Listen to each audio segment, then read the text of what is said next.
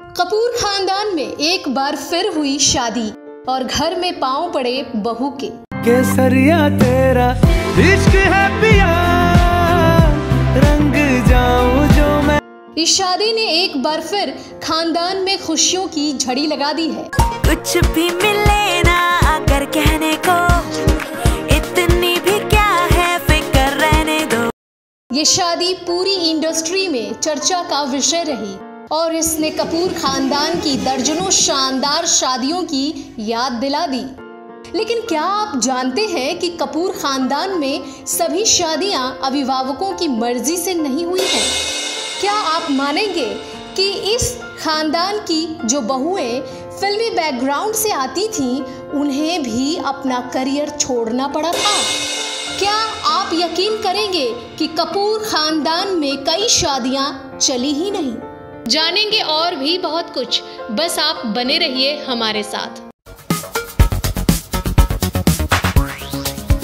नमस्कार आप देख रहे हैं ड्रामा सीरीज़ इंडियन और मैं हूँ शशि प्रिया। केसरिया तेरा इश्क है पिया रंग जाऊँ जो मैं रणवीर कपूर की आलिया भट्ट से हुई शादी से कपूर खानदान की शादियाँ एक बार फिर चर्चा में आ गई हैं। एक अरसे तक बॉलीवुड पर राज करने वाले इस परिवार की पाँच पीढ़ियाँ फ़िल्मों में आ चुकी हैं और उनमें होने वाली कई शादियाँ मीडिया की सुर्खियाँ बनी। हालाँकि इस खानदान की सारी शादियाँ सफल नहीं रहीं। लेकिन अगर बॉलीवुड के लिहाज से देखा जाए तो इस परिवार की जोड़ियाँ सबसे सफल कपल्स में गिनी जा सकती हैं। अगर सबसे सफल कपल की बात करें तो सबसे पहले बात आती है पृथ्वीराज कपूर की। काफ़ी कम उम्र में हुआ था पृथ्वीराज कपूर का विवाह। फ़िल्मों में कपूर खानदान के संस्थापक पृथ्वीराज कपूर की शादी मात्र 17 साल की उम्र में हुई थी। उन्होंने 1923 में खुद से तीन साल छोटी रामशरणी मेहरा से पेशावर में ब्याह रचाया था। उस वक्त वो पेशावर के एडवर्ड कॉलेज में पढ़ते थे। रामशरणी एक अनाथ थी, जिनका पालन पोषण उनके पड़ोसियों ने किया था। वो काफ़ी खूबसूरत थी, इसलिए पृथ्वीराज उनके प्रति आकर्षित हो गए। शादी के एक साल बाद ही पृथ्वीराज के यहाँ राज कपूर का जन्म हुआ। और भी कई बच्चे हुए, जिनमें थे राज कपूर शमशेर राज उर्फ़ शम्मी कपूर, शशि कपूर और उर्मी। पृथ्वीराज ने ही कराई थी राज कपूर की शादी। दरअसल, वो अपनी ड्रामा कंपनी के साथ एक बार मध्य प्रदेश के रीवा गए थे, जहाँ उनकी सुरक्षा की ज़िम्मेदारी जिस पुलिस को मिली थी, वो थे आईजी करतार नाथ मल्होत्रा। दोनों दूर के रिश्तेदार भी निकल गए। और उनमें गहरी दोस्ती भी हो गई। दोनों ने अपनी दोस्ती को रिश्तेदारी में बदलने में जरा भी देर नहीं लगाई और मल्होत्रा साहब की बेटी कृष्णा की शादी पृथ्वीराज साहब के बेटे राज से तय हो गई। राज कपूर का 12 मई 1946 को कृष्णा मल्होत्रा से विवाह हुआ। शादी के वक्त राज 22 साल के थे और कृष्णा उनसे 6 साल छोटी, यानी महज 16 साल की थी। ये शादी बिल्कुल अरेंज मैरिज थी। कहते हैं शादी से पहले ही राज उस समय कृष्णा पर फिदा हो गए थे, जब उन्हें सफ़ेद साड़ी में उन्होंने देखा था। कृष्णा कपूर फ़िल्मों से दूर रही, लेकिन उनके तीन भाइयों प्रेमनाथ नरेंद्र नाथ और राजेंद्र नाथ ने फ़िल्मों में लंबी पारी खेली। कपूर खानदान पर एक और वीडियो इस चैनल पर है, जिसका लिंक आई बटन में है। आप वहाँ पर जाकर देख सकते हैं। राज कपूर कृष्णा के पाँच बच्चे हुए, जो थे रणधीर कपूर, ऋषि कपूर, राजीव कपूर, रीमा और रितु। शमी कपूर और गीता बाली की शादी भी बहुत ही खास रही थी, क्योंकि ये भी परिवार के खिलाफ में ही था। जी हाँ शमी कपूर और गीता बाली की शादी के खिलाफ थे परिवार वाले। पृथ्वीराज अपने बेटों शमी कपूर और शशि कपूर की शादियाँ भी उसी धूमधाम से करना चाहते थे, जिससे राज कपूर की हुई थी। लेकिन शायद ईश्वर को ऐसा मंजूर नहीं था। 1955 में मिस कोका कोला और रंगीन रातें की शूटिंग के दौरान शम्मी की मुलाकात अभिनेत्री गीता बाली से हुई।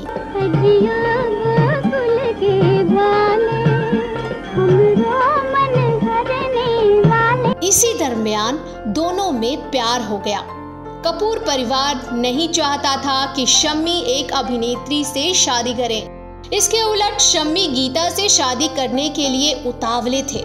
23 अगस्त 1955 को जब शम्मी गीता रात 11 बजे मुंबई के जुहू में एक होटल में बैठे थे, तभी शम्मी ने गीता को प्रपोज किया। गीता ने प्रपोजल स्वीकार कर लिया, लेकिन कहा कि शादी अभी करनी होगी। फिर आनंद फानन में दोनों वाण गंगा मंदिर पहुँचे तो पुजारी ने दोनों की शादी करवा दी। इस शादी के एकमात्र गवाह भी सिर्फ़ पुजारी ही थे। कहते हैं, दोनों के पास विवाह सामग्री नहीं थी तो शम्मी कपूर ने गीता बाली के लिपस्टिक से उनकी मांग भर दी थी। दोनों के दो बच्चे हुए, आदित्य राज कपूर और कंचन। आदित्य कुछ फ़िल्मों में नज़र आए, लेकिन कंचन फ़िल्मों से दूर रही। बाद में एक बीमारी में गीता कपूर का निधन हो गया। कुछ साल बाद शमी कपूर ने एक रियासत की राजकुमारी नीला देवी से शादी कर ली। और अब बात कपूर खानदान की चौथी शादी की। जी हाँ ये चौथी शादी थी शशि कपूर की। शशि कपूर ने पाँच साल बड़ी जेनिफर से शादी की थी। शशि कपूर ने सिर्फ़ 20 साल की उम्र में खुद से पाँच साल बड़ी जेनिफर कैंडल से शादी रचा ली थी। जब शशि मात्र 18 साल के थे तभी से उनका दिल जेनिफर के साथ शादी करने के लिए मचलने लगा था। Come on, come on, we're having a picnic. We are playing consenting adults. Come on, Harry, sit over here. Have a drink.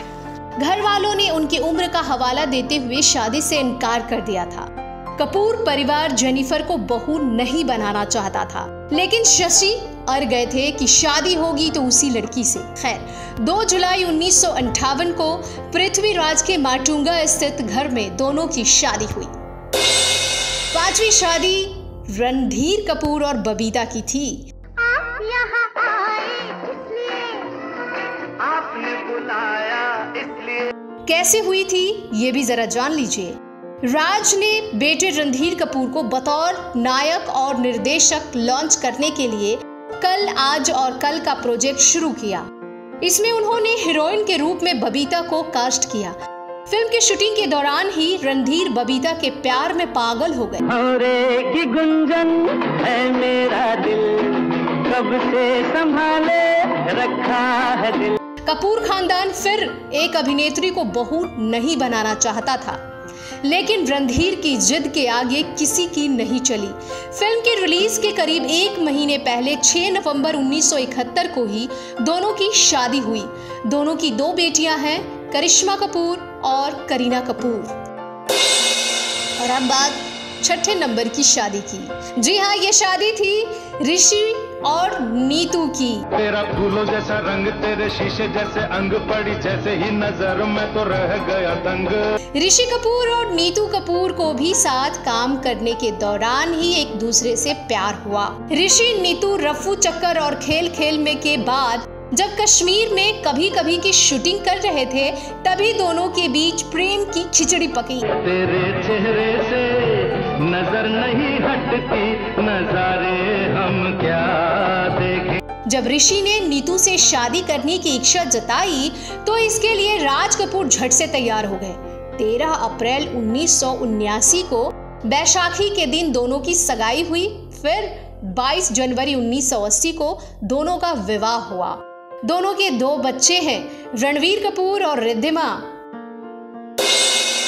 सातवें नंबर की शादी की बात कर लेते हैं, जो थी राजीव कपूर और आरती सब्बरवाल की। राजीव कपूर ने आर्किटेक्ट आरती सब्बरवाल से वर्ष 2001 में शादी की थी। राजीव कपूर ने कनाडा में रहने वाली आरती से जब शादी की तो उन्हें लगा कि सब कुछ ठीक ठाक होगा। लेकिन सारी चीज़ें बहुत ही जुदा हुई। कुछ फ़िल्मों में राजीव कपूर ने काम किया, लेकिन दोनों का दो साल बाद, यानी 2003 में ही तलाक हो गया। आरती कनाडा में रहने लगी और बाद में दिल्ली में अचार का कारोबार करने लगी। वो अक्सर दिल्ली की हाई प्रोफ़ाइल पार्टियों में नज़र आती थी। राजीव का भी वर्ष 2021 में निधन हो गया। और अब बारी आती है आठवीं नंबर की शादी की, जो थी आदित्य राज कपूर और प्रीति की। शमी कपूर के बेटे आदित्य राज कपूर ने वर्ष उन्नीस में ही प्रीति से शादी की थी। दोनों के दो बच्चे हैं, विश्व प्रताप कपूर और तुलसी कपूर।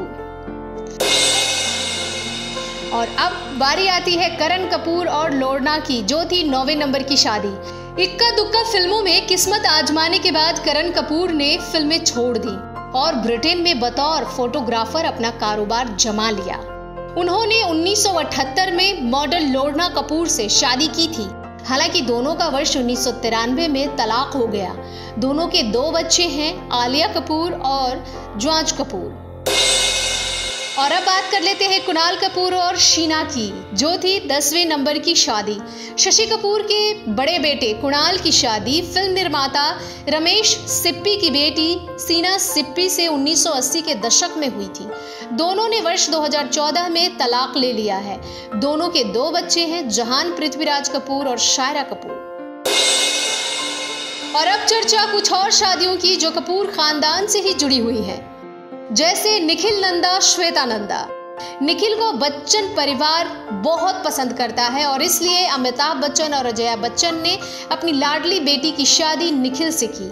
दोनों की शादी साल उन्नीस में हुई थी और आपको बता दें कि ये उस समय की सबसे बड़ी शादी थी। ऐसी ही एक शादी हुई करिश्मा कपूर, संजय कपूर की। जी हाँ करिश्मा कपूर की शादी पहले अभिषेक बच्चन से होना तय हुई थी। लेकिन सगाई के बाद दोनों का रिश्ता टूट गया। कहा जाता है कि ये रिश्ता भी बबीता की वजह से टूटा। कुछ समय बाद करिश्मा की ज़िंदगी में उनके फ्रेंड संजय कपूर आए। संजय एक बिजनेसमैन थे और उनका पहली शादी से तलाक भी हुआ था। खैर, करिश्मा और संजय ने एक दूसरे को दिल दे दिया और बड़ी धूमधाम से दोनों की शादी हुई। आपको बता दें कि करिश्मा अपनी शादी में बहुत सुंदर लग रही थी। हालाँकि ये शादी चली नहीं और दोनों का तलाक हो गया। ऋषि कपूर और नीतू कपूर की लाडली बेटी रिद्धिमा की शादी भरत साहनी से हुई। रिद्धिमा की मुलाकात भरत से लंदन में पढ़ाई के दौरान हुई थी। चार साल साथ रहने के बाद उन्होंने 2006 में शादी कर ली। उनकी बेटी समारा का जन्म 2011 में हुआ था। कपूर खानदान की बेटी की शादी भी बड़ी शानदार तरीके से संपन्न हुई थी। राज कपूर की बेटी रीमा और मनोज जैन के बेटे अरमान जैन और अनीसा पहली बार न्यूयॉर्क में मिले। उन्हें अरमान के छोटे भाई आदर ने मिलवाया था। अरमान जैन और अनीशा की लव स्टोरी की शुरुआत फ्रेंडशिप से हुई, जिसके बाद दोनों ने अपने सात साल के रिश्ते को शादी के बंधन में सील कर दिया। साल 2020 में दोनों की शादी हुई। और ये साल की सबसे शानदार और फ़ेमस शादी थी, जिसमें पूरा कपूर परिवार शामिल हुआ था। करीना कपूर और सैफ अली खान। करीना कपूर और सैफ अली खान ने एक दूसरे को लंबे समय तक डेट करने के बाद 2012 में शादी की थी। ये शादी ऐसी थी जिससे लेकर फिल्मी गलियारे में बड़ी चर्चा हुई। आपको बता दें कि दोनों की शादी के लिए पहले करीना की माँ बबीता तैयार ही नहीं थी, लेकिन फिर वो भी इसके लिए मान गई। करीना ने अपनी शादी में सास शर्मिला का लहंगा पहना था, जिसकी बहुत तारीफ़ हुई। लोगों ने खूब तारीफ़ की। खास बात यह है कि लंबे अरसे तक कपूर खानदान की सभी लड़कियाँ और बहुएँ फ़िल्मों से दूर रहे थे। बेटियों के दूर रहने की परंपरा को तोड़ा करिश्मा और करीना ने, जबकि बहू नीतू सिंह ने शादी के करीब 30 सालों बाद फ़िल्मों में एक्टिंग कर परिवार में नई परंपरा की शुरुआत की। तो ये था कपूर खानदान और उनसे जुड़ी शादियों का संक्षिप्त ब्यौरा। ये वीडियो आपको कैसा लगा, हमें कमेंट बॉक्स में कमेंट कर ज़रूर बताएँ। अगर आपके पास इस संबंध में कोई और जानकारी हो तो वो भी अवश्य शेयर करें। हमें आपके कमेंट का बेसब्री से इंतज़ार रहेगा। अब दीजिए अपनी दोस्त और होस्ट शशि प्रिया को इजाज़त। नमस्कार।